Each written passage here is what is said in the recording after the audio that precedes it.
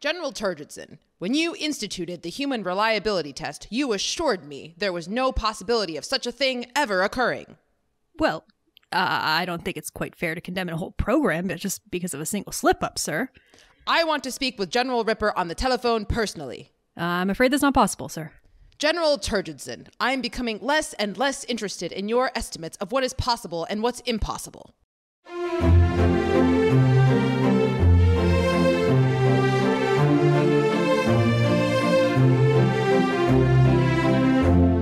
Welcome to Your Pick, a film podcast. I'm Tatum. And I'm Geneva.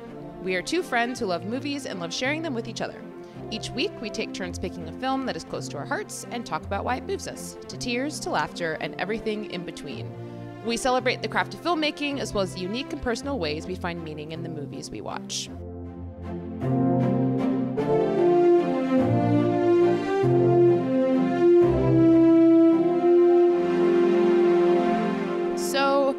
Uh, Geneva, I love you. Let's try and keep the uh, what we've been watching this week section a little bit shorter for you because I know you've seen not shorter, but like maybe don't talk about everything that you.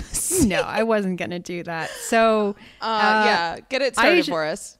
Yeah, absolutely. So I just went to a film festival. It is the first film festival I've ever been to, and it was super fun. And if you love movies, I highly recommend going to a film festival. Though I will say one caveat. Uh, so the the film festival that I went to was the Provincetown Film Festival in Cape Cod, New England. Beautiful little town, um, super fun, amazing energy to be there. Extremely expensive, Yeah. very very expensive. So uh, keep that in mind. But anyway, I had a great time. Um, I watched so many movies, even though I was only there for a couple of days. And I'm not going to talk about uh, all of them, but I will say one. Um, the very first thing that I watched when I went there, which was kind of an unexpectedly delightful surprise, is I signed up to see a bunch of short films uh, that were going to be playing. The theme of these short films was digital closeness and I believe it was five in total. And it was shown at just a small theater, maybe 50 person theater or so. Um, the room was packed out. Most of the people in the audience seemed to be the filmmakers themselves or people who knew the filmmakers because there was a lot of energy and a lot of cheering. And it was amazing. I, I love watching short films and I, I don't do it nearly enough. And so to see five short films from these rising um, filmmakers who had they're just you know the bonded by the common theme of digital closeness but telling very different stories from very different viewpoints. Um, it was just really really cool to see. And then at the end there was a q&a where some of the filmmakers got up and um, the audience got to ask them questions and hear a little bit more about what inspired their stories and where they are in their filmmaking journeys because some of them are just starting out and some of them have been in the industry for a long time. And yeah it was amazing. So i thought it was a great experience. And again, I just highly recommend if you've never been to a film festival and if you ever have the means and opportunity to go, even if it's just for a day, I would really recommend it because there's there's really nothing like being able to be in a town where all these other people are gathered who also love movies or are actively creating movies getting to see movies in an audience where you know that some of the filmmakers are there and are going to be able to a- answer questions and are experiencing the movie with the crowd it's just it's just such a cool feeling so yeah film festival Yeah. love them Sounds really exciting. Yeah. and all right what about you tatum what have you seen what have you seen this week Wow, that was a lot briefer than I thought it was going to be. yeah Um, well a lot of the things too that i i saw are probably not going to come out for a very long time because they're doing the festival circuit right now so i figured maybe some of them will come up in conversations in the future but Gotcha. um, yeah for now i don't want to go too in detail with each of them Yeah. Um, well, I'm glad you had that experience. That sounds like a lot of fun. Um, yeah. So as far as what I've been watching, I haven't been watching too much to be honest. Um, but I did go see a movie in theaters, which I feel like by the time this episode comes out, it I'm almost positive it won't be in theaters anymore because it's a small little indie film from A24. Um, but I would highly recommend seeing it when it comes out on video on demand or DVD or however you watch your your stuff. Um, but it's a little indie called Past Lives. Um, it's a movie that I have been waiting to see for uh, quite some time. It has not yet come out where I am, so Ah, hopefully Yeah. that happens pretty soon. yeah. It it is a incredibly, incredibly beautiful film in terms of just the storyline and uh, just the themes that it's meditating on. So the basic premise of it is. So the movie starts with this woman. Uh, well, she's a girl in the beginning. She's like eight or something like that. Maybe she's older than that. I don't know. I can't tell age of children. Um, but um, I'm like, you're either older than five or you're less than 15. It- I don't know. um, but she, um, so she's a young girl in Korea and she has this boy that she's really good friends with, a childhood friend. But her family ends up picking up and very suddenly immigrating to, uh, I think, first to Canada and then to America afterwards. Um, and so she ends up living the rest of her like child and then into adult life in the US. And um, her friend that she's left behind, he stays in Korea. And so the two of them kind of lose touch for 12 years. And then they reconnect at 12 years after she's moved and she's in college. They're both in college.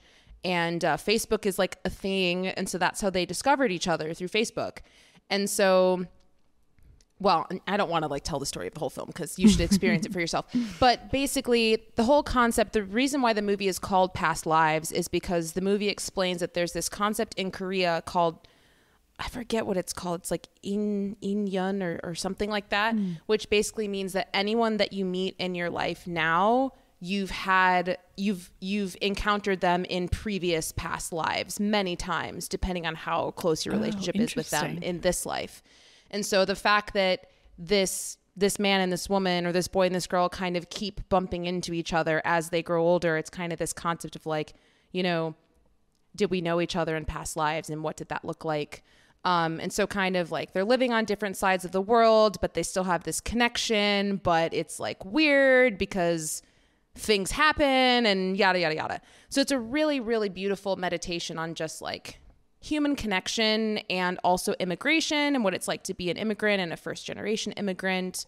Um, and you know just just a lot of beautiful beautiful storylines that i think are are relevant for lots of people. Um, so yeah i would highly recommend it. It's it's a beautiful film. It's not overly long which is great. Um, but yeah if you like watching movies that are just kind of slow meditations on human experiences uh, i would this is the movie for you. And even if that's Damon's not the type of oh yes. And even if that's not the typical genre that you gravitate towards i would still give it a shot because it's it's very moving. And uh, i was watching it and i was like this feels very much so like a like a wong kar wai type of vibe of a film if anyone knows who wong kar wai is. But um, he kind of makes these tragic love stories that are like maybe not tragic, but kind of basically tragic, but beautiful, but you know, um, so it felt very inspired by that. Um, and so, yeah, it was just really beautifully made and well acted. And, and I think it was a directorial debut from Celine Song. That's the name of the director. Um, and I think she's a Korean American. Um, but yeah, highly recommend. It probably won't be in theaters anymore by the time this episode comes out, but check it out when it comes to video on demand or however else you watch things. So, yeah, that's pretty much all I've watched. Nice. um, but it was great. I absolutely loved it. It it was. I hadn't seen, uh, uh like an indie film for Tatum in a theater in a while, so it was nice to have that experience again. So, yeah. Um, but anyway, so that's what we've been watching. Uh, so I will go ahead and move us forward into uh, what specific film we're going to talk about today. Yeah. So today on the show, we are discussing Stanley Kubrick's 1964 satirical masterpiece, Doctor Strangelove: How I Learned to Stop Worrying and Love the Bomb. Loosely based on the book Red Alert, written by Peter George, the movie screenplay, co written by Kubrick and author Terry Southern, walks the brilliant line of evoking both unease and genuine laughter. Written just a few years after the height of the Cold War, Doctor Strangelove is a funny yet frustrating and horrifying reflection on the concept of war and how it can escalate to incomprehensible, even ridiculous heights with catastrophic consequences. The movie tells the story of a world that is under threat of global annihilation after an American military general decides to initiate an FGD 135 wing attack, Plan R. In other words, a large scale nuclear attack on Russia. Taking place in primarily three locations, the remainder of the film shows how those who may have the power to stop the attack respond to the situation at hand. The pilots of one of the planes destined to drop one of the bombs, global politicians who sit in a room strategizing how to proceed, and the general who initiated the Plan R attack in the first place. With very little time to make decisions, they all spend the fleeting moments that they have left doing the thing they know how to do best nothing. So, Geneva, I know that you've seen this movie before, um, but can you just share with us your feelings watching it the second time around and also just your relationship with the movie in general? Yes. So I only saw this movie for the first time last year. Um, fun fact I first saw it around April of last year, which was around the time that Russia invaded the Ukraine and the Cold War tensions between the United States and Russia were suddenly on the top of everyone's mind all over again, uh, which is quite an uh, interesting experience and context in which to see this. Um, but yeah, so I was excited to to rewatch it. This movie is obviously it is brilliant. It is so influential. Um, it's so dark, but so sharply pointed and so funny, and the performances are so good. I do find it to be such a strange movie in like it's just for a comedy it takes such a long time to really start dipping into the absurdity. They really play it straight from the beginning, which is part of what makes the comedy so effective is the fact that so many of the characters within it don't realize they're in a comedy. They are completely playing it straight as if this is a, you know, just a your average um, Cold War era military thriller or something like this. Um, I do find it to be just by modern standards, and you know, me as the person who loves old movies saying by modern standards, but it is paced very strangely, given you know, in, in contrast to what we would expect from a um, a more modern movie, which I always find a little bit strange. And you know, when I rewatch it, um, I don't want to say alienating, but it is a little bit strange just because there there can be kind of abju- abrupt cuts from one scene to another, or um, the pacing is just a little bit slower than you might come to expect.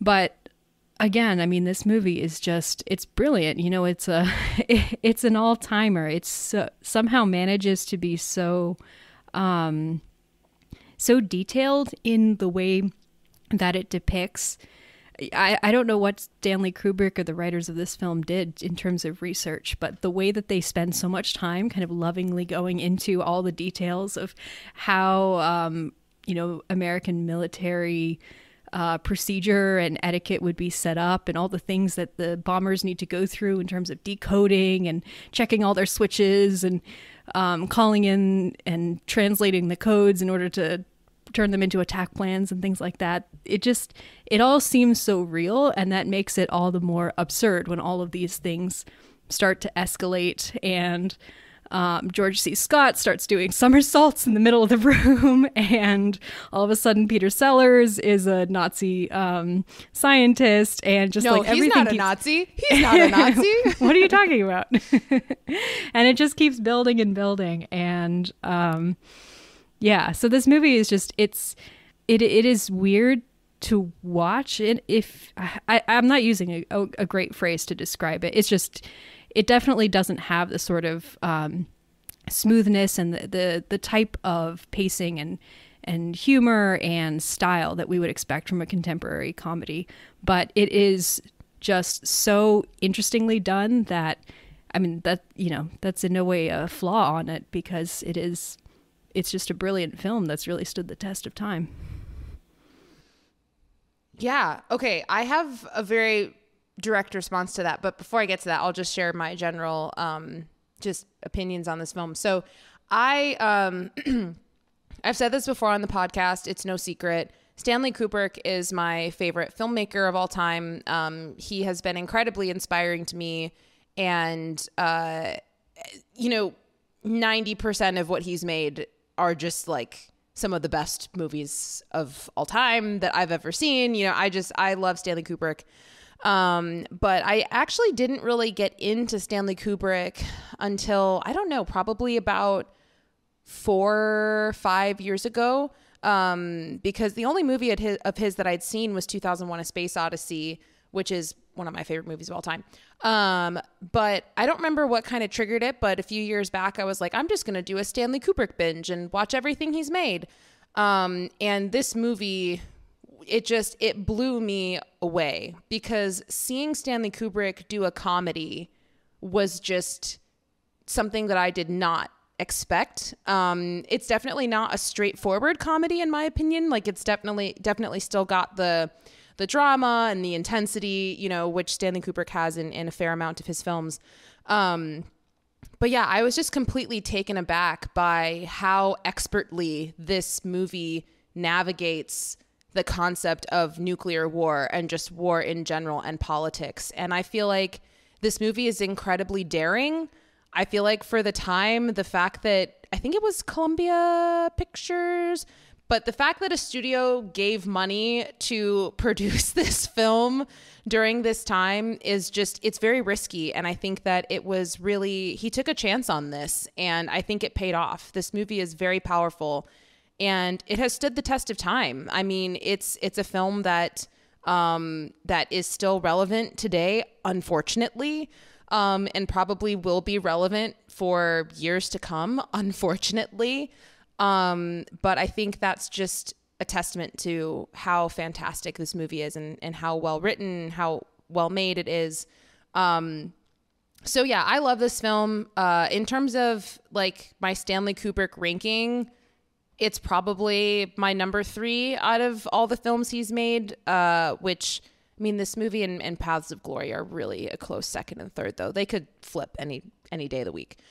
Um, but yeah, I love this film. I think it's brilliant and it blows me away because I feel like this film, there's so much going on because there's so much talking in this movie that I feel like there's so much that you I feel like this movie is so rewatchable because I feel like each time you watch it, you'll pick up on something different because there's just so much going on and it comes and it goes so quickly because then we move on to something else and, you know, or someone cracks a joke and then it's like, wait, what? Um, but yeah, so those are kind yeah. of.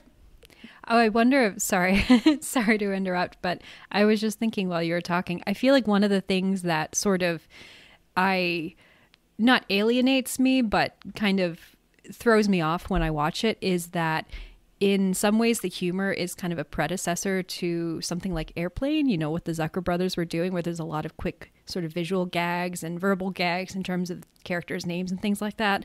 But the style of humor is actually not very much not that. And the definitely the pacing is is not that. This is a movie that has a very strong satirical point, whereas a movie like Airplane, its its primary point is let's cram as many gags as we can into each each minute of screen time. Airplane is and, a very serious movie, Geneva. I don't know what you're talking about. what I'm talking about. Um, we should talk about Airplane on this podcast I would at some point. To. I, I love that movie. Yeah, that those are the types of comedy movies that I grew up on. I love those movies. We should definitely do some. Um, but yeah, so just every now and then there would be like, I mean, there, there's some ridiculous names in this movie that oh, yeah. cracking me up. I mean, the, the fact that the general who causes everything is called Jack Ripper, like, mm-hmm. come on, you like, yeah, General Turgidson, like, what, what, kind of a name? What's the president's name? Like Martin Miffley or something like that? I don't even remember. They're, yeah, yeah, they're just they're so ridiculous. Um, so yeah. I think I I just keep thinking of that and then expecting it to be that, and then it's it's not. It's something very different. Um, yeah. But anyway.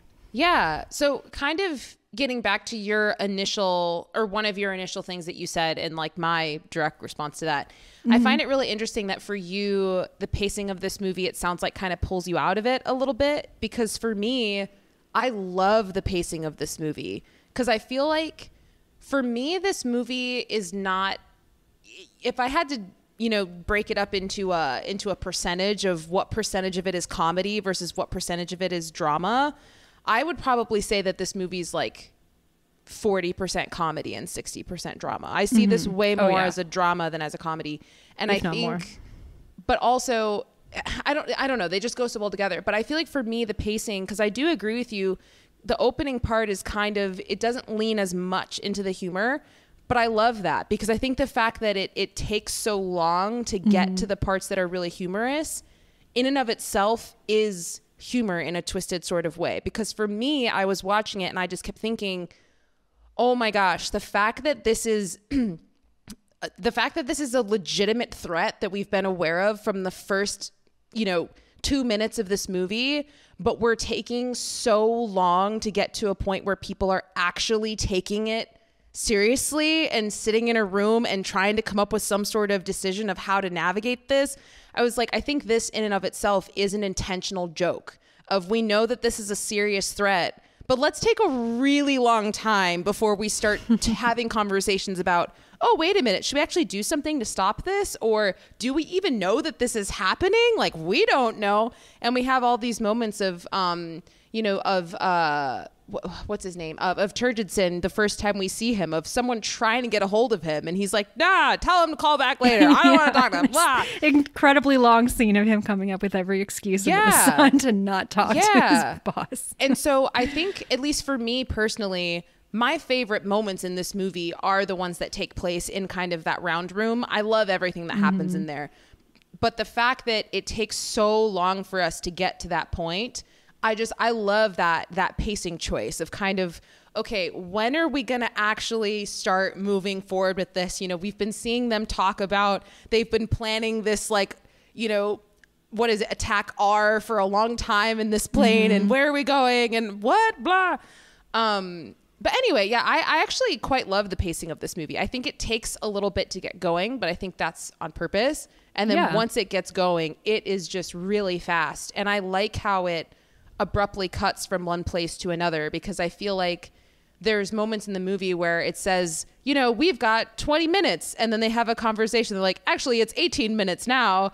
And it's like, okay, but this movie is an hour and a half long. So how are we going to break up that time? And so, like, I, I, think that it's just an, you know, it does end up becoming more than 18 minutes. I think it then extends to an hour or whatever but I like I like how it plays with time in that way to kind of make it feel like not as much time is passing as we think, but we're we're seeing how this time has passed in different spaces. Um, but yeah, anyway, I, I really like the pacing of this movie, and it it it pulls me in more rather than taking me out of it. Um, so yeah, to yeah. be clear, my I, I, didn't mean that in any way as a criticism. It was more. Yeah, yeah. I the first time I had seen it, I was surprised by how long it took to start really bringing in the comedy elements. And then when I was watching yesterday, again in the midst of a film festival where I had three other movies that I was seeing that day, I think I was a little bit, just a little bit tired and a little bit. All right, let's you know, let's let's let's move it along. Like uh, um, uh, Monty Python, move on with it, get on with it. but again, that's that's completely me. That's not an actual criticism of the movie because yeah. it does it does do such a good job then of building the suspense when in later scenes you know there's like all this crazy zany manic stuff happening in the war room or um, in the on the base where uh, Mandrake and um, Ripper are getting shot out, and then it'll cut to the bomber where they're doing these highly intricate maneuvers and they're just going like all right now we're going to go through our uh, escape packs and like go mm-hmm. through every single item there and now we're going to go through and check these circuits and it's just very deliberate and mm-hmm. you know that like you know you're you're waiting for them to finally solve this problem or mm-hmm. you know for something for some sort of resolution and it just it keeps denying it to you and it just mm-hmm. builds builds the suspense more and more yeah. So I mean, it, it very much is a deliberate choice. Um, just yeah. maybe not the greatest. Watching in the middle of a film festival is probably not the greatest context in which to yeah. experience it. yeah, I get that. I feel like everything that you just said kind of explains why you know the last sentence of the opening description of the film why i chose it to be phrased that way we have very with very little time to make decisions they all spend the last fleeting moments that they have doing what they know how to do best nothing because I feel like they're all they're all doing mm. things, but at like they're actually not yeah. doing anything. well, the know? funny and, thing is, is like rewatching it, I was like, one of the things I actually do really like about this movie, and in contrast to so a movie that came out the same year that I watched it, which is Don't Look Up, which is very much trying to be a movie in the style of Doctor Strangelove, to be that sort of comedic satire of a important, relevant political topic. I think is far less successful than Doctor Strangelove. But one thing that I think that Doctor Strangelove does a much better job at specifically is that it has a very good handle on who are the competent characters and who are the crazy characters and actually having the competent characters make good decisions that make sense but be thwarted by outside forces basically whereas i think don't look up leans too hard on every single character is crazy in some way except for maybe the lead two scientists but like i it is funny seeing you know general or uh, president miffley i think his name is the president whoever whatever his name is Just call him Every- Peter Sellers. yeah president peter sellers every decision that he makes is actually a very him Mein Fuhrer. I'm not going to call him that. Uh, every decision that he makes, it, I think, is a very rational one and makes complete sense and probably should have worked. It's just that there are larger circumstances at play involving incompetence from many different quarters that just combine to absolutely thwart every attempt to resolve the situation and end up with world annihilation. But there are steps he makes where you're like, "Oh no, that's yeah, that's a really good choice." He he seems like he knows what he's doing. It's just that he's hampered by all of these layers of bureaucracy and all these people working at cross purposes that just all ends up in disaster. Well, I also think along those lines, I, you know, I do think that the president, he, he seems to be relatively smart, or at least smarter than other people in the room. Um, but at the same time, I do think that you know he he's wanting to make good decisions, and I think he has good ideas. But at the same time, he takes forever to get to the point. You know, because theoretically, you know, it's stated throughout the movie that there's nothing we can do to stop anything. but like theoretically, if there was, you the fact that he doesn't really feel a sense of urgency is is is ridiculous to me but i think it's intentional you know because he kind of just he has these back and forth conversations with turgidson over and over again where it's like i asked you to call me. Well i didn't call you. Why didn't you call me? Well because this. Okay well what time is it now? Oh it's this t-. you know it's just this really long back and forth where i'm it's just kind of i'm just thinking cut to the chase man. What like this is a serious issue. Just Yeah. ask the question or say the thing or make the decision. And so i feel like even the most even the most um, uh, intelligent people in this movie, I think, are still they're still not the best. And I was thinking about even just kind of the the people in the in the jet, like you know the the what do you call them the the air fighters or I, I don't know the the military people that um the military people that are in the jet you know they they are kind of competent to a certain extent but at the same time they're not really thinking for themselves I feel like in a lot of ways because it's kind of like oh we were told to do this thing. And so Well, yeah, well, they're- we're they're- running out of oil. Uh so let's uh like I don't know. We'll just keep going that way I guess. Well this is like the what the amazing satires pointed at is like there are so many people in this movie who are competent and who are doing their jobs under less than ideal circumstances and who are problem solving and figuring it out. It's just that because of the ridiculous way that the system is set up and all these layers of bureaucracy and all these Yeah. impenetrable you know layers of military code and it's just the system has created it so that once this ball has been put into motion, no one can stop it. And so the entire movie, these fighter pilot people think that they are the heroes of the story, where it's like, you know, No, our country needs us to do why out live yeah, our country needs us to carry out this mission. And uh, we're facing so many obstacles and we've got hit by bullets. And so we need to um, go to a closer target and we need to rewire the door so that we can do it and it's just all for nothing because it is Yeah. not a mission that actually needed to be carried out and in fact brings on the end of the world and also with the president too you know i think uh, you know like we're both saying he is he is more intelligent than other people that are around but we also learned that he signed into law all of these policies and clearly didn't read the fine print. True, you know there's all these things where he's like how could this happen? And and they're like dude y- y- you were give like you approved this. You know and he's like oh uh you know? So it's just like there's there's so many situations where i think you know that's this movie is just so brilliant because everyone in my opinion everyone is an idiot but in very different ways. And you know, I just Well, think I- it makes this very Yeah. interesting this very interesting statement that I'm not saying is is accurate, uh, but I think it makes this interesting statement that like so many people that have so much power to do so much damage are not actually maybe the best people to be making those decisions um, or at least the way in which they're able to make those decisions needs to be modified in a different way. Um, but yeah i just i love that kind of being the the core statement of this film. I see a lot of i mean they're very very different because one is a lot more directly a comedy than this movie is but i see a lot of similarities between this movie and veep for example. I think veep is a very another good example of just kind of showing the absurdity of how there are politicians that exist that are stupid, but it doesn't matter. Like they still stay in power and they still have enormous power to make decisions that impact everyone in very serious ways. Um, but yeah, I don't know. I just think that this movie navigates that in a way that somehow walks this line of being neutral in terms of what like it definitely makes it definitely makes an anti-war statement and is definitely criticizing politics in certain ways but it's not picking a side in terms of these specific politician pish- politicians or this specific whatever.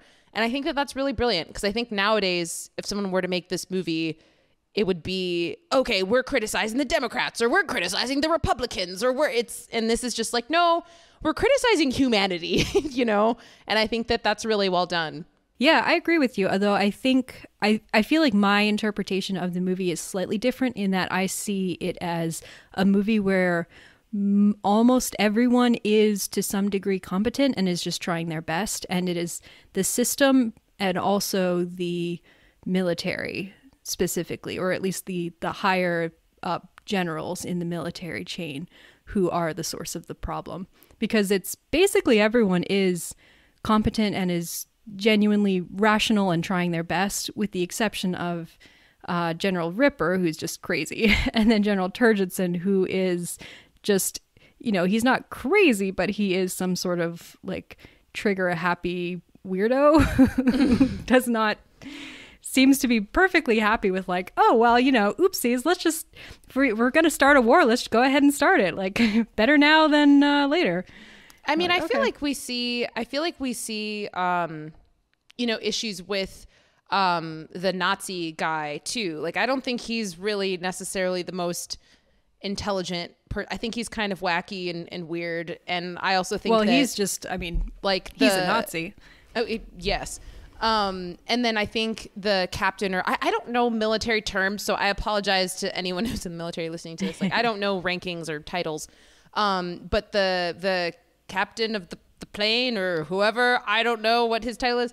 You know, when they drop the bomb, he's sitting on it and he's Yeah. like screaming "Yeehaw!" as if you know this is just the coolest thing to ever happen to him. And he was the one who was in charge of the plane. So I don't know. I, I definitely see a lot more incompetent people than competent people here. well the i don't think the pilot's incompetent because he gets the job done it's just that he's a weird um like I guess it depends. How do we define stereotype. incompetence? But yeah, yeah, yeah. And the um, I mean the the Nazi scientist. I mean he's very much this sort of idea of American military and political policy being very willing to harness Nazi scientists post war in order to fulfill their own purposes. And so it's kind of this idea of the the dark underbelly of American post war um, policy being the the resources that they were able to garner from Nazi Germany.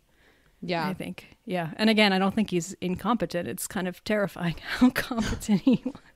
Yeah.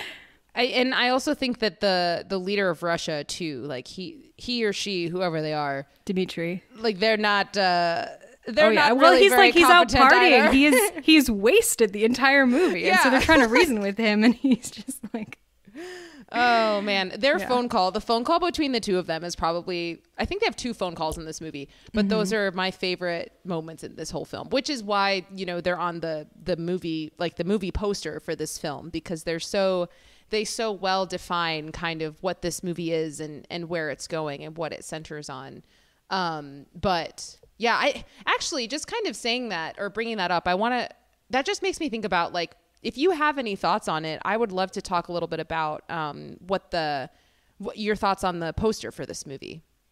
Uh, honestly, I'd never really looked hard at that poster before, but I'm just now noticing that the um, it's pretty great. the Russian premiere has like a woman's hand with a martini glass draped mm-hmm. over his shoulder, which is yep. pretty funny. Um, yeah, it's great. yeah, I, I just I love I love the colors. I love how it's red, white, and blue, and it's got all of these planes, and because mm. even just the plan of the movie itself, because obviously we all know, especially in 1964, people definitely all knew, we know the destruction of an atomic bomb. And the fact that we see on this big board that Turgidson always talks about, he's like, look at the board. Oh my gosh.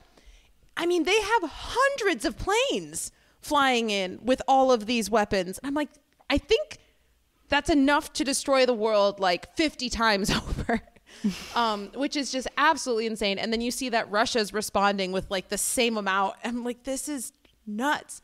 Um, but anyway, yeah, I just think this poster is brilliant. How it's got these two leaders who just are like trying to talk to each other, but they're separated by mm-hmm. a ridiculous amount of planes that are flying over this world that they're like gonna bomb and destroy. Yeah, and um, the graphic style is consistent too with. Um, I've always loved the graphic style of the opening credits. How it's that sort of large, kind of childish block lettering, which mm-hmm. actually seems kind of very modern in some ways, but is also um, I feel like I, I, see a lot of it in throughout the 60s, but um, I don't know if that's intentional that it looks very, to me, childish, but I think it, it does a great job of setting up this idea that, you know, the, the entire world is at the mercy of a bunch of children who um, are just trying to figure things out and don't really know what they're doing. And a couple of small mistakes can have these huge ramifications.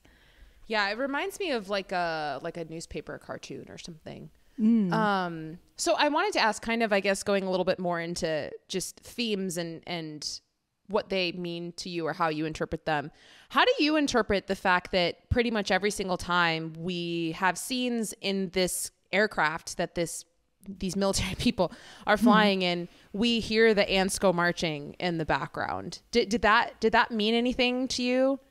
Um I didn't even consciously notice it at the time. But um, I mean, that's kind of a classic military song, right? Like a, a, classic, you know, something that you might sing while you're marching or something like that. So I think it's just kind of giving this idea that these are the people who are the representatives of the um, the active military, and this is their whole life, and this is, you know, they train their entire their entire purpose and existence is to carry be carrying out these orders and that is their primary function in this film, but also in their um, career. And so, I don't know. That's just kind of the the feeling that it left me that these are um, just so much representatives of yeah military people carrying out their orders. So, I I could be wrong, but mm-hmm. I'm pretty sure that this song does. It's not a military song. I think it's like a like a kids well, like it's a, a kid's th- children's song. Well, it's da da da da da da da da da da da right? Or am mm-hmm. I thinking of it? Yeah, yeah. Because that's uh, when Johnny comes marching home again, which is a military. It's a, I think a Civil War song. Oh yeah, yeah, yeah, yeah. The lyrics are different though. Okay, so that actually adds a lot more Oh man, that actually makes that that song choice a lot more interesting to me because oh, I, I, mean I already thought it was interesting, but now I think yeah. it's even more interesting because I didn't know about the song that you just said, the the Civil War version, but the lyrics are different, and so I think it's really interesting, kind of playing with that duality of you know these people are on the one hand you know they're they're proud military men who are you know they're fighting for their cause that they believe in and I don't know whether the um, the Union or the Confederates were singing this, um, but I think if the Confederates were singing it, that makes an even stronger statement about what is going on here. Um, but also the fact that this song also has a, a double meaning of just being a kid's song where kids are singing that the ants are going into the ground to get out of the rain. Boom, boom, boom, boom. But you know, it's just I think I just think that's really interesting, especially since you were saying before how you know, in in certain ways these people are kind of like kids that have power. But I just think it's interesting how, at least my initial interpretation, thinking that this was drawing directly from the children's song and exclusively from the children's song, mm-hmm. was that, you know, these are just a bunch of people that are just doing their thing and not yeah. really well, thinking like, about it at all. The association with just... the ants go marching, like the idea of worker ants who are just kind of their whole existence is around fulfilling their function and they're they're not you know thinking in any grander or more strategic way about what they're doing.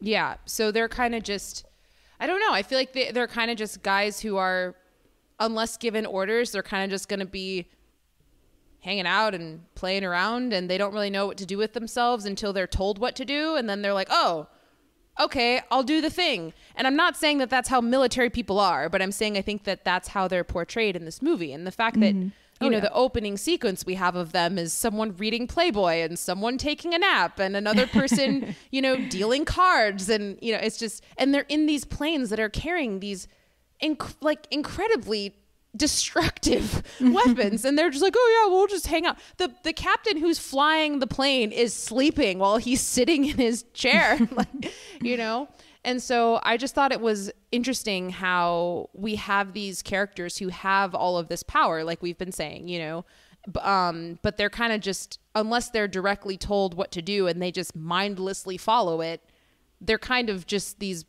these robots who exist to execute a plan. Um, and so I just thought that was I thought that was interesting. The fact that I think that that theme is really, really hammered into us because every single time we have a scene at the mm-hmm. plane, mm-hmm. That song is playing throughout that entire sequence over and over and over again. Yeah. So well, and like so many of the conflicts are caused by people just doing it specifically within the military because that's the the context of this movie doing the job that they've been assigned to do and following the the orders they've received or following the procedure that has been set up um, but it ends up causing all of these conflicts because of this situation that they couldn't have foreseen. Like the, um, I mean, the fact that General Ripper orders the shutdown of the base, and so no one can get in. And so this entire shooting war erupts between different sides of American soldiers, where one side is so convinced, like, oh, they're actually commies in disguise because that's what our general told us. Uh, and so they're just doing their jobs and they're getting and killed. all the radios and all mm-hmm. the phones, so no one can communicate. Yeah, or like that really hilariously absurd scene toward the end where poor poor uh, Captain Mandrake or whatever his title is, or I can't remember what his rank is, but he he knows he has the key to to stop everything from happening, and he's just trying to get through to the president. And this one military guy is like, no, no, no, I I can't let you do that. Like I can't let you phone the president. And he's like, no, please. And then he keeps he keeps blocking him. He keeps being like, all right, if but I'm not going to give you, any succeed, change. I'm not going to shoot out the Coke. answer to Coca Cola if you succeed. it's such a good line. Yeah, yeah, yeah, yeah. I I also think uh, one of my favorite concepts in this. I mean, there's so many concepts in this movie that you know this movie is is funny and it's horrifying, but I think part of the reason why it is as funny and as horrifying as it is is because of the parallels that we can draw to the world that we actually live in. And I I found it to be incredibly fascinating of a choice for this story that all of it starts because of this one guy who has a conspiracy theory mm-hmm. about liquids within our own bodies and no one knows what the crap he's talking about. yeah. No one understands. And even when he's explaining it to like patient little old Peter Sellers, you know, yeah, he's like, no uh-huh, choice. sure, okay, that's great. Um, but I love that concept of, you know, if you. It, ideas can be dangerous and i think mm-hmm. that that was true back then and i think it's very true now you know and we see a lot of that happening in our day and age you know people get freaked out about certain things, whatever it might be, and then they start concocting these stories into the biggest threat to ever exist. And it's like, well, thankfully, you know, a fair amount of those people are not in power, but if they were, you know, what would what would that mean? And um, and are they getting more power? And could they get to that place? And how close are you know, how many people do we have already in the government that have those mentalities but are covering it up? You know? Um, so I just thought that it was a really, really brilliant choice that this movie, you know, this whole attack didn't start because someone perceived a legitimate sort of threat from Russia. It was just based off of some sort of conspiracy theory that they had in their mind that they somehow attached to Russia. So I guess like I could follow up by asking you, you know, do you have any thoughts in terms of the choice of having the person who started this whole thing have it be based off of a conspiracy theory as opposed to any sort of you know evidence that we should actually attack attack Russia. Do you have any thoughts on that in terms of within the story itself and implications on the society that we live in today or anything like that? Sure. Yeah. Well, whew, oh boy. Watching this in 2023, I mean, I, I don't want to get too far into the weeds in this, but Well, yeah. you know, especially We're trying to stay theory, politically neutral, everybody. conspiracy theory specifically surrounding um, issues of public health and the attempt to better the the pub the general welfare and health of a society. Yeah. Uh, yeah. There's there's some relevance there. um, I think I mean, you know, I, I, definitely agree with everything that you said. It's it's just so um so terrifying but so well done this idea that it's just one person who's kind of gone off the rails who ends up sparking all of this just a word too for the performance of i think it's sterling hayden who plays general Yeah. turgidson because he does such a good job of just having that sort of you know stolid um sort of brusque military demeanor that you've seen in a you know a thousand military movies made in the 40s 50s 60s i know he was a guy who did a lot of like film noir and things like that. And you know he just seems like your average male from the 1960s who's older and he's a military guy and he's just brusque and he gives you know he gives orders and everything like that. And slowly over the course of the film you just start to see how crazy he is oh, you're actually nuts. oh, like, oh yeah. And it's like everything he's saying, you're like, wait, that but that's crazy. But coming out of coming out of your mouth, like it sounds like it shouldn't be, but it is. Yep. And um, yeah, he just does such a great job with the slow reveal of just how nuts General Turgidson is. Um, you know, we're kind of seeing it as um, Peter Sellers as uh, Mandrake is seeing it, and it's just yeah it's it's such a great sort of unraveling and the way that the um the scenes there's a couple specific shots of him too where it's kind of a close up on his face and the shadows falling across it and he's chomping on this big cigar as he's giving these long monologues that are just completely unhinged and it's just absolutely so terrifying. hard to follow. I I I actually rewatched a few of them like I rewound cuz I was like is there something here that I'm not getting? Like I want to make sure I'm actually understanding what he's saying. And I was like, "Oh, okay, this is just crazy." yeah, the part where he's like, "Women, I don't avoid women. Women are attracted to me because of my power, but I avoid, I deny them my life essence." And you're like, "Okay, I'm sorry, what?" yeah. And he, you know, I love how in the beginning, I think it's one of our first interactions with him. He actually tells Mandrake or asks him, he's, he says, you know, bring me some, some water, but it needs to be the, the rain water or whatever. And, but at that point Mm-hmm. A in grain time, alcohol and rainwater. Right. But at that point in time, he seems to be a very like powerful, you know, Mm-hmm. sergeant or whoever he is. So it's kind of like, okay, that's a weird request, but that's fine. But then later on in the movie, he's like, do you know why I only drink rainwater? and we're like, um, and, and then, and then Mandrake is begrudgingly like, uh, no, I don't. And then he just he goes in this crazy roundabout way. It takes him forever to get to the answer. He's like, "Did you know that you're made up of 70% water? Why do you think you're made up of 70% water?" Well, the water it's just like, "What?" And then I just love this idea how I don't think anyone else knew how crazy he was either. And they're kind of learning as we're learning. Because even that message that he sends, like that last letter or transmission or whatever it is that he sends to that round room, and Turgidson's reading it to everybody. And the last he's like, Our liquids, Our fluids. our fluids. We're still trying to figure out what that last Yeah. line means. you know? And that's before we've learned from General Turgis uh, Exactly. from General Ripper like what What exactly he means. And so it's just like this weird phrase put into his message that will just become clear later. Well, there's also this great moment in in the film too when Ripper is telling Mandrake about you know the threat of of the of all of those things, and I think he says something along the lines of um, our you know our liquids are are the biggest threat facing us today, and then immediately after he says that.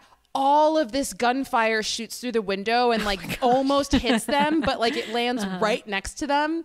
And I just love that kind of that not that pacing because it's not pacing, but just like the how that yeah, the timing of that, how he says that, and then mm-hmm. immediately mm-hmm. they literally almost die getting shot by these yeah. guns. It's like okay, so our our liquids are are actually the, yeah, the liquids are the problem. That, sure. That's that's the main threat here. Gotcha. Okay. Yeah.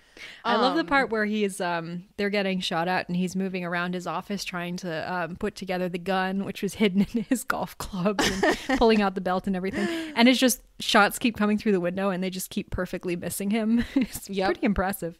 Yeah, he you know he just knows. yeah. Um yeah, and I, I found it was interesting, you know, that whole sequence where he's talking to he's talking to Mandrake and he's kind of like, you know, have you ever been a, pis- a prisoner of war? And he's like, well, yes, yes, sir, I have.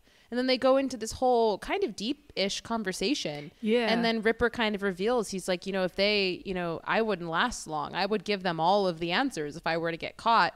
And I'm kind of like, what answers are they look because you initiated this so i don't really know like what answers they're going to ask that you would I, I don't know but the fact that that kind of leads to his end of him deciding, you know, well, I'm just going to kill myself because I'm not strong enough to withstand, you know, torture. Um, I just thought that that was a very interesting end to this guy who, man, he's really got an arc. You know, he just yeah. starts somewhere and then goes somewhere else and then ends somewhere else. yeah, I I believe what he's referring to is the key, um, the key code that would allow them to oh, talk to oh, the right. bombers and recall yeah. the bombers.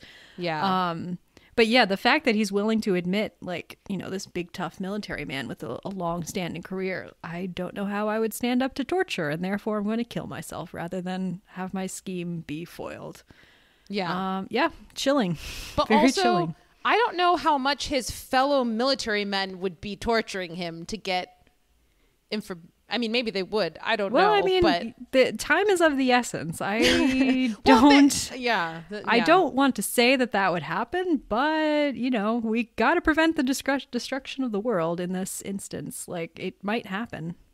Yeah, which okay, so let, let's get into a little bit how um, it's so funny. I, my brain's just like sporadically thinking of all these things in the moment. Um, but let, let's talk a little bit, assuming you have any thoughts. But let's talk a little bit about how you know these two huge threats in terms of you know America flying in with these planes, and then this what is the Russian weapon called? Like the, the doomsday device, the, yeah, the, the doomsday, doomsday machine, the something? doomsday machine, which is a absolutely absurd name for for something well, like I mean, what else are you but, gonna call it? it brings about doomsday. but but I love I love the concept of both of these things being created, but mm-hmm. they're created to not be stopped and and they all thought this was a really good idea of oh yeah this is the smart and the safest and the wisest way to do this because we have to be able to create this thing and no one can stop it because if someone can stop it then mm-hmm. anyone can stop it for the wrong reasons and but I'm like it should be the other way around like if anyone can initiate it they could initiate it for the wrong reasons yeah. but then the fact that the doomsday one they can't even control how it gets started it just like mm-hmm. analyzes the data of some sort of something else and then it's like oh okay I guess I'm gonna activate now and yeah well and the just the the absurd fact that all of this happens in the brief window of time in which the doomsday machine is online and active but no one yet knows about it because yeah. i mean i don't know if it actually would have stopped general ripper but he wasn't intending to activate the doomsday machine. He just wanted to start nuclear war with Russia. But the Russians have already put this thing online and they're like, "Oh yeah, we were going to announce it at the party congress on Monday." so, it's not even yeah. working as a deterrent. It's just yes. sitting there waiting to be triggered. Yeah.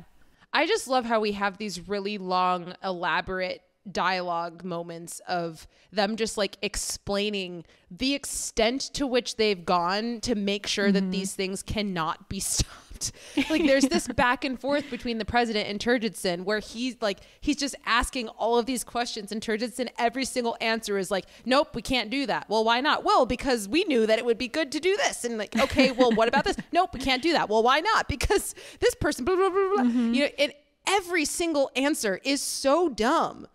And it, and you can tell the president is kind of like with each question he asks, he's just thinking, why? Why? Why? And then he finally asks why, and they're like, well, you approved it. So, you know, what do you want from us? But yeah, I just love the, the extent to which they've gone to, to make it impossible to stop this, mm-hmm. this incredibly, you know, really terrible thing that they've yeah. created. But the idea with the Doctor Strangelove character, right, is that the the Russia has the Doomsday Machine and the United States does not have one yet have one, but they had been looking into one. Doctor Strangelove had been leading a investigation to look into possibly creating one. Is that correct? Yes. Mm-hmm. Okay. But yeah, but instead he recommends that they all go down to a bunker and stay there oh for a hundred years, and each man gets ten wives, and they're all like, "That's kind of crazy." Until Turgidson puts it together, he's like, "So every man gets ten women, eh?"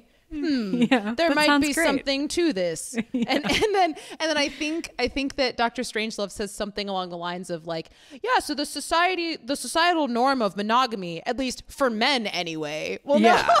no needs exist. to be put away with for the good of the species and also for the good of the species. These women women that we're going to select need to be uh, particularly sexually attractive and um, you know, for the good of the species and everything. I I, I don't there it is. Wasn't it like sexually attractive but also like a high libido type of thing. Like they have to mm-hmm. really want to have sex a lot, and the guys are like, hmm. Yeah, young, beautiful, really eager yeah. to have sex. And the fact that that is how this whole conversation and therefore the world ends of them just being like, oh, well, we've determined that we can't solve this problem.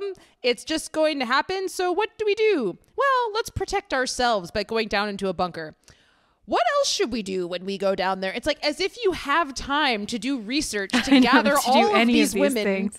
like you know it's but like then there's also that them, rid- it would it would have taken them another two hours just to talk about how they would figure out how they're going to yeah. do this and by that you time don't have time late. to actually yeah. no but also there's that ridiculous um, monologue that Turgidson gives at the end where he's like you know we're gonna you know when we we're gonna go down into our mines and the Russians are gonna go down into their mines and you know we have to have a certain number of mines so that when we come up there's no mine shaft gap between the two of us oh my god it's the exact arguments that get made about building up nuclear weapons, except it's about people hiding out in mine shafts for a hundred years like rats. This movie is just so it's so quick. Mm-hmm. You know, mm-hmm. every single line, every single conversation, it's so funny and so ridiculous, but also so chilling at the same mm-hmm. time. You know, this movie is just I don't know how it does it. It just it holds in the balance these two seemingly opposite emotions and concepts, but they're both equally held and they they interact so well together and so perfectly which i think is why this movie is considered to be the masterpiece that it is because it's i, I don't understand how it came into being and how you know kubrick and this crew how they were able to pull it off and not be murdered for you know speaking out against something in a super offensive way. You know it's just it's well, so it's it's just crazy how it managed to navigate this incredibly personal and controversial sort of topic. Yeah, but also very... maintain neutrality in certain ways. Yeah, I would be very curious actually to know more about the context because, I mean, these are conversations that were happening. I don't think it was particularly unusual for people to be critiquing um, governmental policy when it comes to nu- nuclear armament. Um, just the the pointedness of this particular satire. I don't know if there's particular people who are being sort of caricatured in this movie, but yeah, I would be very curious to know more about the context and the controversy that this movie courted and the, the criticism, but also the the reception from general audiences. I would be very curious. I mean, based off of the research that I did, it didn't seem to be negatively received by mm by many people. But I think also, like, yes, I, I mean, obviously, I am not an expert on this time. I was not alive then, and I have not done extensive research on what life was like in 1963 and 64.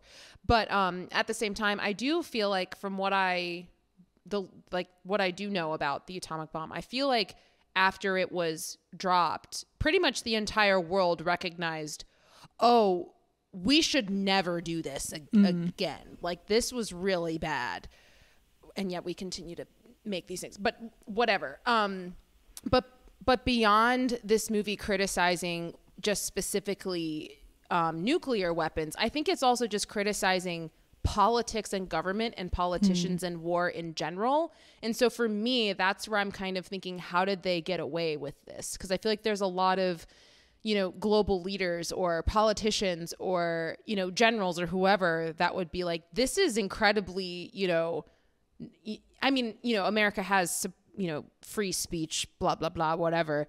But that doesn't necessarily mean that you won't upset people. And so I just, I can't believe that they were able to release this and not.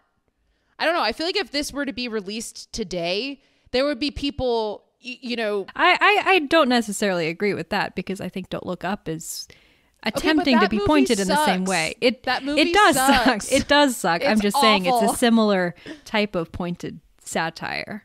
I, I guess my point is just I don't think there was ever any any danger that this m- movie would be shut down by the powers that be at the time. Maybe if something obviously not exactly the same, but something similarly critical of um, military strategy had been made during World War II, I could definitely see that. Um, but I But I feel this- like if something like this were made today, it would be it, it would be very heavy it would be very controversial, I feel like. If there was a film made today that was satirically criticizing some sort of really relevant political thing that existed in this country, there would be a strong reaction from at least half of the population saying how could you do this you're criticizing this thing that is a good thing or it's or it's protecting us or it's doing this that or the other like regardless of what side you're on i feel like if something like this were made today with a mod not that this isn't a relevant topic but like with something that is very heated and relevant to this specific time it, it would not have been like, oh, this is a great movie. We all love this movie, and it's one of the best films of all time. you know, I feel like it would it would be met with a lot of, I don't like people would not be happy with it. And I'm not going to give specific examples because that's just dumb.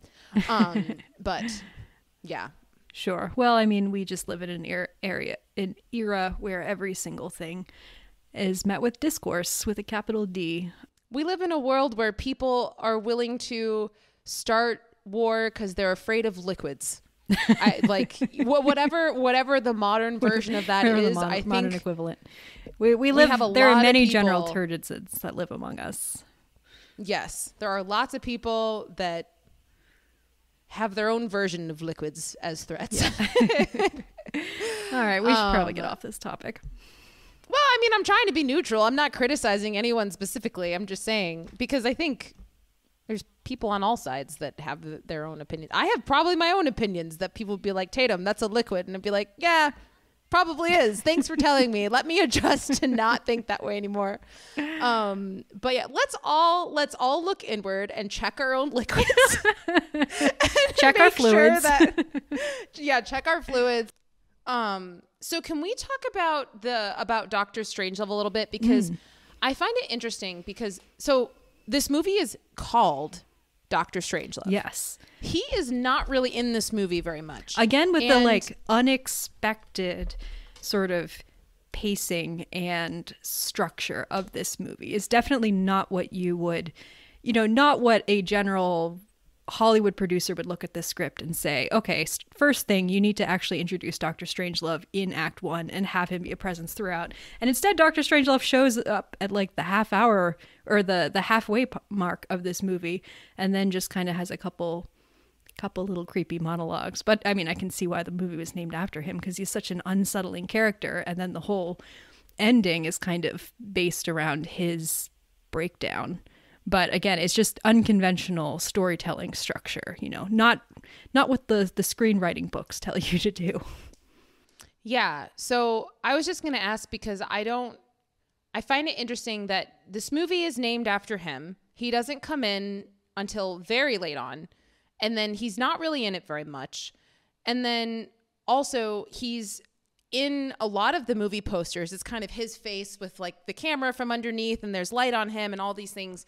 So I think that this movie, uh, at least based off of how I'm perceiving it, this movie is making an argument that Doctor Strangelove is one of, if not the most important characters in this film. I don't understand that. That's never made sense to me. I don't really understand the relevance of him in this movie at all. Uh, not not that he's not relevant, but I don't understand why he's seen to be or seemingly presented to be the core of this film because he in my mind he's just someone who comes in and offers some extra jokes towards the end and he's you know a, a nazi guy that adds jokes so I don't really understand. Maybe you can maybe you can explain it to me if you have a better understanding of it. But I'm just kind of like, he comes in to make some jokes, and he's funny, but and he's creepy. Yeah, I, I just I don't understand the huge significance of of him but he seems to he seems to be significant but i'm just not getting it. Yeah yeah. I cannot say that i can fully explain it because i had a lot of the same questions that you do but to my interpretation of it would be that he is the character that best embodies the most pointed edge of the satire in the idea that at its heart all of these um a lot of the sort of philosophies of um self protection at all costs, even the cost of the entire world, and we must have all the power, even if that leads to the destruction of everybody, are fascist. And this idea that America has, um, in some sense, to a certain extent, sold its own soul by bringing on board this guy who is this like barely even attempting to pretend to be reformed Nazi. like right. I'm sure he claimed not to be a Nazi when they brought him on board, but like he's he's barely pretending. They should have a better vetting system. yeah.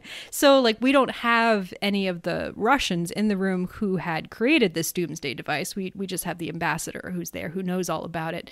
But it's the same philosophy presumably that led the Russians to create the doomsday device that led America to I mean, we didn't haven't created it yet, but we're certainly thinking about it and exploring the possibility. And so he's kind of this living embodiment of this um, desire to just create the bigger and bigger stick, basically, until everyone in the entire world is potentially dead um, because of our own, yeah, desire to be the strongest and the most self protected. And so I think even though plot wise he doesn't have a huge point in the movie, I think he mainly serves as a more symbolic val- um, uh, symbolic function within the film. Of just like watch for the threat of America becoming a, a Nazi nation because any nation could become a Nazi nation if they like aren't wise about how not, they not America becoming Nazi nation in the sense that America becoming fascist, but more just these impulses, which are leading to the self destruction of the entire world, are mm-hmm. similar impulses which are found within the the fascist dictatorships. I think, which is which is funny because we have that that moment earlier in the film where um, where the president is kind of talking about you know what decisions they can make and what are their options, and then he says something. Well, I think that it's Turgidson who's like, you know if we do this instead of that, we would kill 20, 20 million people. that line is so good. He's like 10, people. 20 million dead tops, like yeah. depending on the breaks. it's so yeah. funny. And then and then the president responds with like, I will not be known mm-hmm. as the next Hitler or whatever because mm-hmm. I'm not going to be a mass murderer of 20 million people. And then Turgidson responds with like, "Well, you should be more concerned with blah blah blah blah rather than lives. how you'll be remembered in the history mm-hmm. books." Well, very specifically, like, um, he's like, "You should be more concerned with preserving American lives or um, like the future prosperity of America in, instead of, you know, being known as a mass murderer or something like that." Like it's Ugh. very it's it's it's pointed. Yeah. yeah. Plus, I mean, just in addition to his symbolic value, Doctor Strangelove just has a great look that looks amazing on posters. Oh my gosh, like he's got he the does. little little round dark glasses and the crazy hair. Yeah. Well, I actually in the research that I did uh, before this podcast, I saw that um, so Peter Sellers apparently he saw I don't remember who specifically it was, but maybe it was the um, the grips, but he saw someone like wearing gloves on their hands because they were handling really hot lights on the set. Mm-hmm. And Peter Sellers was like, that seems pretty cool. I should have a glove. Oh, nice. and so like it was it was his suggestion to have his character wear a glove because he thought it felt intimidating or something like Mm-hmm. I mean, they look very uh, Um, Gestapo esque. Well, Yeah. it I Mhm. should say because he's only wearing one glove. What do you think about the moment when when the hand that he seemingly has no control of, it seems to be a being of its own. What do you think about when the hand starts choking him? Like it turns on him and starts choking him. He's like, "Ugh, oh." I was very I was confused about what exactly that was supposed to symbolize or mean. I mean, I think it's supposed to be just building up to the eventual him doing the the Heil Hitler salute and this idea that his kind of latent impulses are coming out and basically his arm is this kind of primal part of him that's showing what's you know what's rolling around in his head what everything that he's trying hard to um mask and pretend is not there. Yeah and it's just like his arm is um showing the way the fact that at, at his deep dark core he just wants to like go nuts and kill everybody and salute the fuhrer um but yeah it was the ending to this movie is again you know it's unconventional by certainly modern comedy standpoint. There's a lot of things that just happen and like the the um the russian ambassador going and taking pictures of the board which does not i mean it's set up a little bit before because they were worried about him doing that but there's no payoff for it because then the world ends. And so i'm very curious about the the decision to Oh, keep that in there. I I love it. I, I think that it I think that it creates this idea because I feel like yeah why do you think uh, that's in if, there If I was watching this movie for the first time, well, I don't know. I was going to say if I were watching this movie for the first time, I wouldn't expect the movie to end in the way that it did in terms of things exploding. I would have assumed, you know, maybe somehow the plane stops or runs out of fuel and lands in a field somewhere, you know, I don't know. And so I feel like the movie kind of holds that tension up to the very end of this story isn't over. Like these lives will go on. This political situation and this political um like tension that is happening like it will continue because this is how politics is. This is how the world is. This is how war works, you know. And it it holds that up to the very end of life will go on because that's how life is, right? Like if we had theoretically been in this room that thank God doesn't exist, at least not as far as we know. um but if I if we had been in that room during this moment, this is what would have happened. Like the Russian ambassador, if he had intentions to do whatever with that information, he would have been taking pictures of it to take it mm-hmm. back to wherever he was going. So it's I like in that- the desperate hope that he'll actually be able to survive this, he's just going to take these pictures just in case. Yeah, like they're just living they're just living their lives in terms of like, okay, what's next? What's next? What's mm-hmm. next? And then everything they're ends. yeah, like and I think that that kind of finalizes this idea of going back to the beginning of this movie is it takes a long time to finally get to the point of them sitting in the room and talking about things because their understanding of the urgency of the situation is just not as urgent as it actually is. Like mm-hmm. they always seem to think that maybe they have a little bit more time than they actually do. and they literally die and they're caught off guard. I don't see how this is possible, but they're caught off guard by the fact that they're all blown up at the end. Well, it cracks me So- up that we see, you know, we see the the people in the the guys in the bomb fight um the bombing plane. They deliver the bomb. Slim Pickens goes down riding it like he's in a rodeo.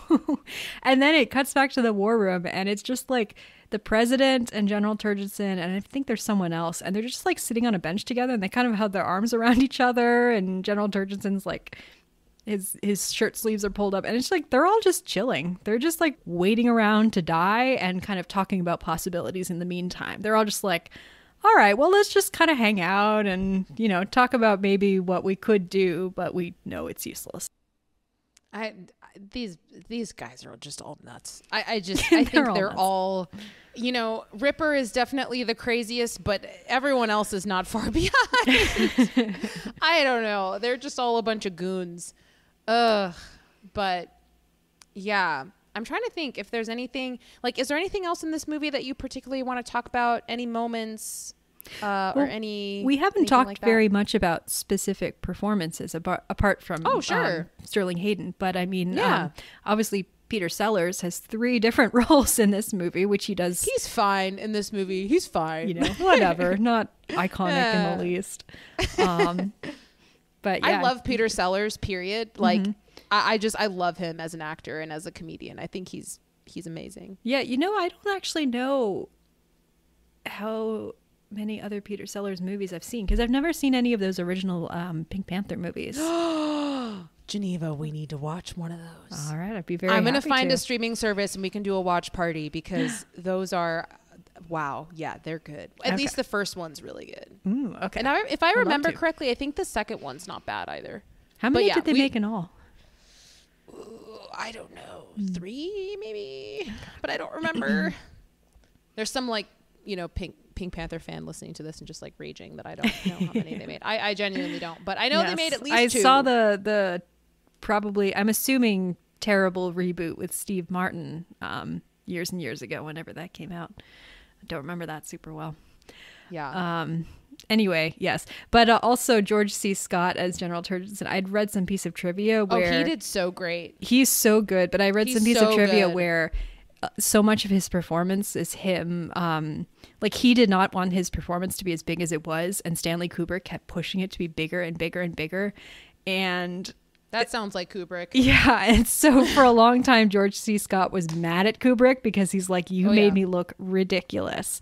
Uh, I think he's since came around on it because he is fantastic in this movie. But it is a big performance. It is a huge performance, and he's very funny. Kubrick loves pushing his actors beyond what they Beyond their uh, comfort level? want to do. Yeah. You know, he may be my favorite director, but I am very much so aware of his flaws. um, yeah. Uh, question: What do you think about James Earl Jones in this movie? Because, I mean, love James Earl Jones. He's amazing, but I'm also like, are you the token black person in this movie? Because I kind of feel like you are, and Yeah, I don't. Is there Uh. is there a piece of trivia behind his casting in this movie? I mean, it's it's great to have a just a you know a black actor in a role that I feel like at this time you would not expect to see one. Um, and he does great with what he's given, but I don't know if there's like a specific sort of um it's just one of those things he, where it's like cast. it's kind of just that that confusing aspect of like on the one hand it's really really great great to have representation in a movie like this where there otherwise it otherwise probably would have been all white people so it's great that there is an attempt at it but it's also kind of like i mean yeah I, I don't- it's i don't know it's just a weird it's a weird it's a weird thing that I don't really know how I feel about it, but it's a very common thing that happened for a long time. But it had to happen in order to get where we're at. So you know, anyway, we Yeah. don't need to talk about that too much. But I just, I don't know. It was just a, a thought that I had watching this. Yeah. Um. Oh, pff, wait. Oh, I didn't know that. Sorry, I was trying to look up how many uh, Pink Panther movies there are, but then Oh. I saw that. But then I saw that Peter Sellers was in Lolita, which is another Stanley Kubrick Oh, film yeah, that I was. actually never finished because that movie really bothers me. really, why on earth would that movie bother you? yeah, I, I could not. I, I, I could not. Yeah. I, I just I. I, could not. started watching that movie. I think I only got like 15 minutes in. I, I would like to Yeah. finish it at some point. Lolita the book is amazing. Fantastic book that you finish it and you instantly want to go and take a scalding hot shower. Mm. Um but yeah, I don't know how well I mean I I don't know if there's any way to successfully adapt it to film, and I certainly don't know Hmm. if Kubrick was the person to do it. But I've never seen the movie in full, so I don't Yeah, know. Kubrick has adapted lots of books to screen now that Hmm. I think about it because this one is loosely adapted from a book. Lolita is um Paths of Glory, I think, is loosely adapted from a Hmm. book. The Shining Yeah, is 2001 adapted from a book. was a short story, I think. Are all of his films adapted from a book? Now that I think, no, I don't think Eyes Wide Shut. And I'm gonna have to do research about this later. I'm like, were, was he? Were all of his book or were all of his movies adapted from books? Possibly. Uh, I mean, maybe. great ideas got to start somewhere. Um, also, this movie was uh, apparently Peter Sellers' first role after the first Pink Panther movie came out. He did the Oh, Pink Panther, and then he did this, which I think is great. Yeah, good for him. Um, But anyway, I'm not going to go off on tangents in that direction. Then I'll just start googling things, and then Geneva and I will just start having an I'm incredibly scrolling- unfocused conversation. Yeah, yeah. Let's get her. I'm Um, scrolling through Peter Sellers' IMDb as we're talking, and I should probably click Yeah. out of that. Um, but yeah, I, I agree with you. I think that I think that maybe a controversial opinion because Mm. Peter Sellers is obviously killing it, killing it in this movie. I think that George C. Scott might be my favorite performance. I mean, But I I don't think that would be a a wrong or even controversial opinion just because his performance is so good and so iconic. yeah.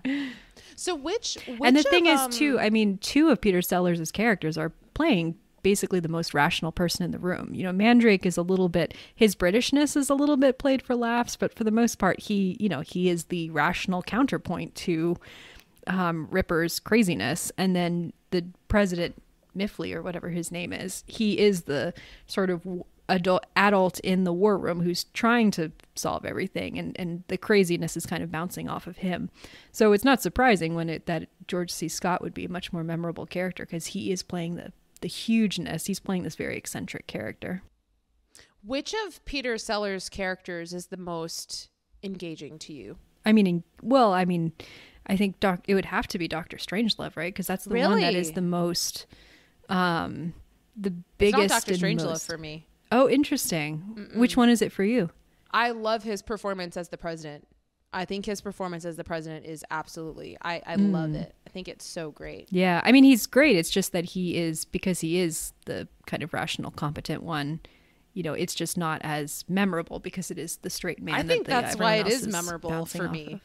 That's why it is memorable for me because so many of the performances in this movie, in my opinion, are like very over the top and outrageous.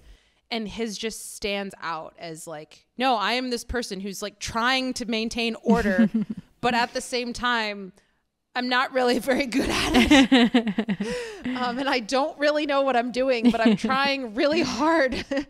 um, so yeah, I, I really, I mean, obviously all of his characters and his performances in each of them are, are great. Um, but I like him as the president. I think n- not that I like him as the president the most, but that's my favorite performance of his in this film. of the three. Yeah. Yeah.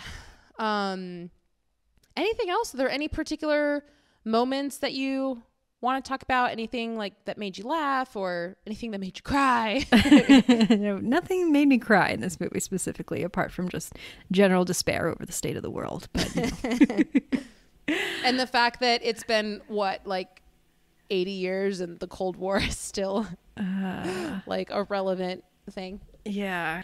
Um trying to think if there's any like major parts of this movie that we've not yet talked about. Um did we talk about the introduction of General Turgidson and his quote unquote secretary? We did briefly. We, We did. talked about the phone call back and forth. Is she the only woman in this movie? Is there any other woman? I'm pretty sure she's the only woman. Yeah. Yeah, yeah. Yeah. Which is pretty funny. She'll probably be one of the lucky ones chosen to Um, go into the underground bunker. Lucky her. yeah. Yeah. oh, Um, I, I also love the logic behind that of like, by this math, if we have this many men and that many women, then within like, what was it? Within like 20 years, we should be back to the same level of population we have Like, now. And I'm I like, don't know if that math checks out. Like, that's definitely not true at all. no. Not even close. oh my goodness. Crazy. Yeah. The the um again with like how impressive it is the the level of detail that they have in the the military protocol and um how all the the codes work and all the uh, buttons and circuitry and everything like that. I'm very curious how all of that was put together. Also, I love the footage at the beginning over the opening credits where a plane is being refueled midair and I heard at one point, I cannot cite any source for this, but that the original intention for this was basically two planes having sex with each other in midair. That's kind of a visual representation, uh, which I think works very well uh, and sets Yeah. a, the tone for the movie. Yeah. So that was yeah. pretty great. I Um, think that checks out, I feel like. yeah. yeah. Yeah, they do they do a good job with the the special effects in this movie.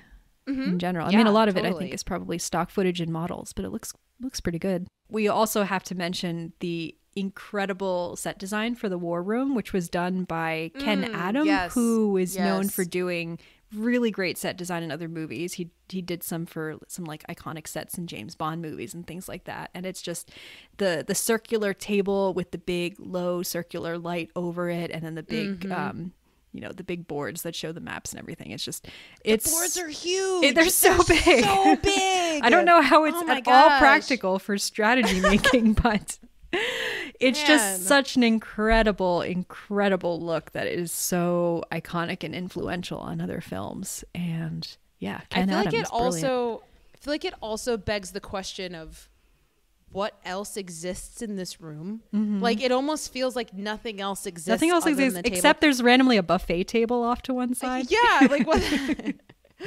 but I, I just love how like when we're looking directly at the table, Mm-hmm. nothing else exists. We have some shots where we're away from the table and we see that there are other things in there. But when we're specifically at the table, it's like no, we're just in our own little, you know, confined space, and it's just Mm-hmm. Yeah. us here. and it's you know? very much that sort of sinister idea of like here are the secret here's the secret meeting room where all the fate of the entire world is decided everyone's just coming all these people are just coming together to make these Oh momentous decisions You just made me think of something when you were saying top secret. That Mm-hmm. made me think of the little envelopes that they got in the airplane, which made me think Oh, of yeah. Their little care packages that were like, you get one little gun, and then you get like this many sandwiches, and you get this type of medicine and ointment, and blah blah. I love blah. the part where it's like, and you get, uh, they they each get like three sets of lipstick and three sets of nylons, which not a whole lot of um, clarification on how they're supposed to use them, but you know, could They're come military handy. men. They- They'll, they'll, know. out. but I that made me get to the point of I wanted to ask you. I don't Hmm. know if this is just like an ongoing gag just to be funny, or if there's some sort of thematic theme to this, or thematic theme. if there's some if there's some theme to this being used that I'm just not aware of. Mm-hmm. Everyone is chewing gum in this movie. Everyone is chewing gum in this movie. Yeah. The because the, the fighters or like the the airplane people, the, like each of them gets six packs of gum, or six Mm-hmm. Ridiculous amount of gum. bubble gum. And then and then uh Turgidson is downing gum the entire movie. And I think we see Ripper having like Uh, maybe it's not Ripper, but we at least see one other person. Maybe it's Doctor Strangelove, I don't know. But there's lots of gum in this movie and I'm just kind of like I don't know if this is like a military thing or a 1964 thing that I'm not aware of, or if it's just a joke that's yeah, meant to be funny. Could be an American but- thing, like you know, Americans are always chewing gum. It could be like, I feel like chewing gum kind of gives you that idea of someone who is not in a hurry to go along with your idea about how they're don't Uh-huh. seem to have a great awareness of how urgent everything is. It just gives you the kind of nonchalant, you know, oh, I'm just gonna sit here, chew my gum, you know, instead of being and like, it makes me think of when I was in school growing up too. It was like no gum, no gum. Maybe gum is something where it's like if you're if you're a high level official, it- yeah, it, it gives a sense of informality. if you're chewing gum. Yeah, it gives a sense of informality, and also, I mean, it's a it's a childish candy. You know, like kids chew gum. I'm, I'm I'm not obviously I chew gum, but like you know, I feel like gum is like it, the association is with kids. So this mm, idea that okay. these high level adult military men are sitting in a room chewing gum, it just it makes them look a little bit childish. Yeah. I- mean, Turgidson is freaking like he's. I mean, he's a- chewing so much gum. he's a you know a horny fifteen year old boy trapped in the body of a you know military is that general. what is that what horny fifteen year old boys do? They chew lots of gum. they chew gum and they you know want to abandon their uh, essential duties in order to hang out with their hot secretary. I don't know. I love how I love how we have that moment where it's kind of him and his uh him and his secretary in his room or whatever. Mm-hmm. And then it's like, okay, this is interesting that she's answering the phone or whatever. And then it's revealed in the middle of her phone conversation that it's 3 a.m. It's like, there's no way they would be going over paperwork in Yeah. his room at 3 a.m. Yeah, I mean, the if it's bikini didn't 5 tip you p.m., off, yeah. maybe that story checks out. If it's 5 p.m., if it's 3 a.m., forget it. Like, why even bother? It's such a like it is so easy to see through that story. I don't think. oh my gosh, totally. Also, I can't believe that's her underwear because it looks like a swimsuit, but It does. I don't know. I, what- I was thinking it was a bikini, but also why would she be wearing a bikini at 3 a.m.? Exactly. So who knows? Man, it's like, it's like yeah, what do you do after you're done having sex? Put on a bikini. yeah, like, I don't out, know. chill on the bed. Um, but anyway, yeah. I mean, yeah, there's just so many funny moments in this movie that are just like coming back to me. But mm-hmm. it's it's interesting to me how when we're talking about it, I'm remembering all of these funny moments. But when I finished the movie, my emotions in my heart and soul were like, I am depressed. I am not. I don't mm-hmm. feel like that was a fun time.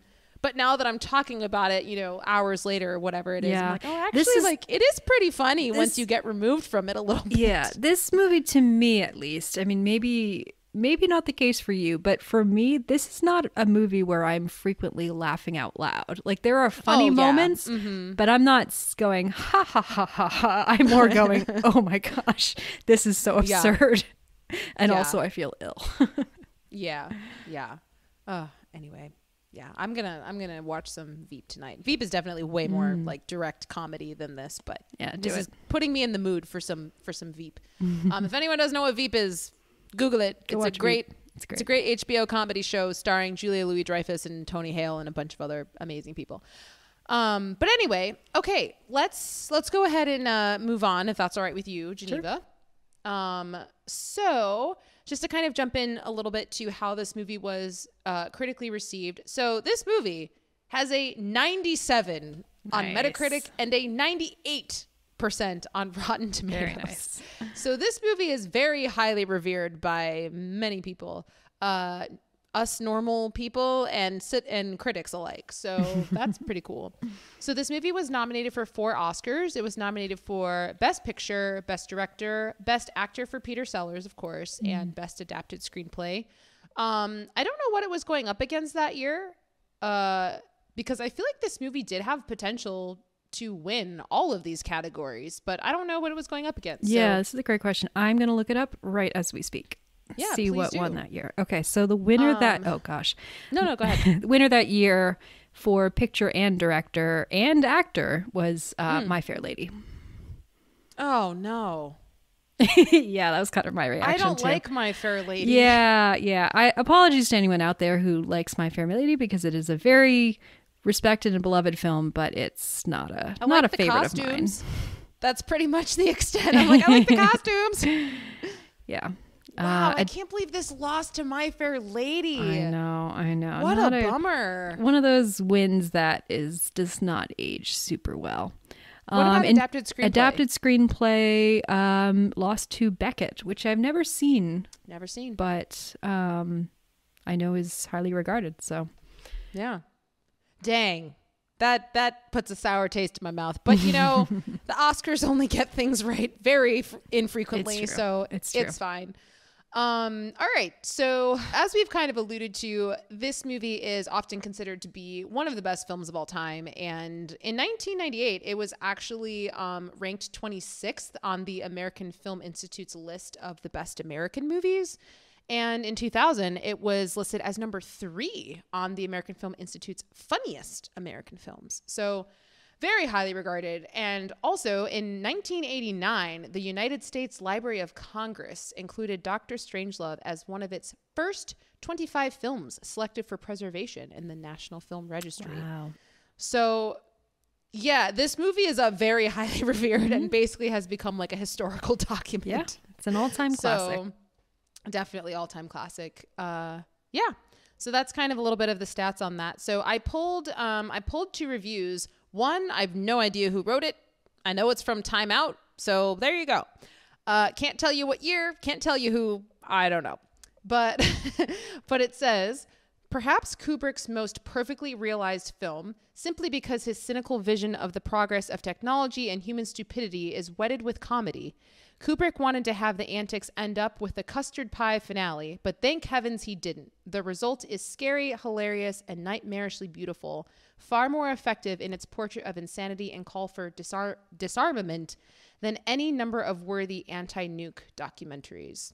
So I thought that was a, a good way of describing kind of the, how it juggles a lot of these different themes, but does it in a very unexpectedly successful sort of way. Yeah, and I think that does Um, that's a really good ex, um, description of the ending too, and how it Mm-hmm. it doesn't end in a sort of neat conventional manner. It is very disjointed and jumbled and frightening, honestly. Um, but it is intentional, and that's one of the reasons that the film has so much power. Right. Yeah. Um, and then the next one, this one is actually an old one. So it's from 1964 when the movie actually came out, which I always try to find movies or reviews that are from the actual year. Yeah, it's always so this interesting comes yeah so this comes from james powers at the hollywood reporter and he said baleful and brilliant dr strangelove or how i learned to stop worrying and love the bomb will outrage a predictable percentage of the population and enthrall an even greater percentage Dr. Strangelove is not an assault on American nuclear policy. It is an aghast look at the entire world, a world in which the demonical word overkill is accepted as a logical point of discussion. Mm. I loved that review. I thought that was really, really well said. Yes. Um, so, yeah, good job, James Powers at the Hollywood Reporter from 1964. Uh, Geneva Probably R.I.P. Geneva and I absolve you. Colin, bring it back to our Amadeus yeah, episode. call back to our last episode of Amadeus if you haven't listened to it. Um, yeah, that'd be funny if someone just listened to this and hadn't listened to Amadeus. what? was like, why is why What are you is Tatum about? laughing and absolving people? Anyway, um, so yeah, just to close out, uh, this movie is just. It, I just think it's a masterpiece. I've never seen a movie, honestly, that is like this. That is just so successful in the way that it um, just like creates satire, um, but in a way that is so funny, but also really, really just, you know, I keep using this adjective, but chilling at the same time and, and very relevant, not just then, but still relevant now. And I think will still be relevant for years, if not centuries to come. Um, but yeah, I just think it's a really profound film and I think it's incredibly well made, incredibly well acted. You know, as Geneva mentioned, the set design and, and, um, you know, just the performances and all of these different things. So, um, yeah, this is definitely a movie where I finish it and I, it sticks with me. Like I think about it for a while and, and I like movies that once they're done, I still think about them for hours and perhaps even days to come. So yeah, this movie is, is a masterpiece and, and I'm glad we were able to, um, talk about it today. So yeah. What about you, Geneva? Yeah, uh, I agree. Well said. I mean, I'm trying to think of like there's one specific moment that's that sticks out to me more than others, which is hard to say because there are so many great scenes and great exchanges um, that it really is hard to single out one. I mean, I we didn't talk about it too much, but the the scene with Mandrake attempting to place a phone call to the president, which he hopes will resolve the entire situation, and this one guy who's with him is just refusing to help him, and until the very last minute, refusing to um, shoot a Coca Cola machine to get him the money that he needs in order to place this call. And he's like, "You're gonna have to answer to the Coca Cola Corporation," which Yep. is just very funny. I remember watching it the first time and just oh my goodness the suspense you know i there's sort of an inevitability to the way this movie ends but at the same time i didn't fully know how this movie was going to end. So i really was kind of on, on the edge of my seat at that point in the movie being like well are they gonna are they gonna make it are they gonna make it? And then it's just oh no of course they're not gonna make make it because this whole movie is Murphy's Law, you know, everything that can go wrong is going to go wrong, and it's all going to mm-hmm. end in annihilation. So, yeah, great movie. Definitely is one that has stuck with me since seeing it for the first time, and I'm really glad that I got a chance to see it again. Yeah, yeah. I'm glad we got to talk about it. Um, yeah. So that is uh that is our Doctor Strangelove discussion. Geneva, can you tell us what we will be talking about next week?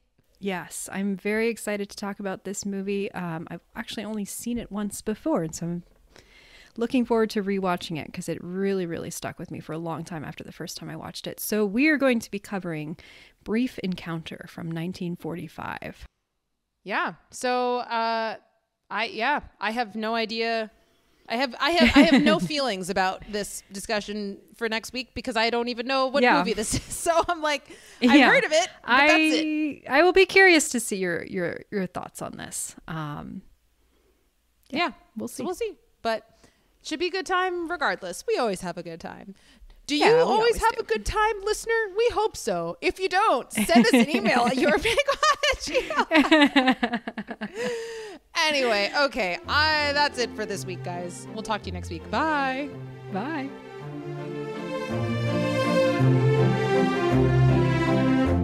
Thanks for listening. If you want to get in touch with us, you can email us at yourpickpod at gmail.com.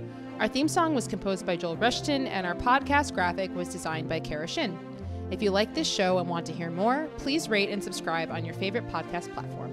We're excited to have you on this journey with us. Until next time.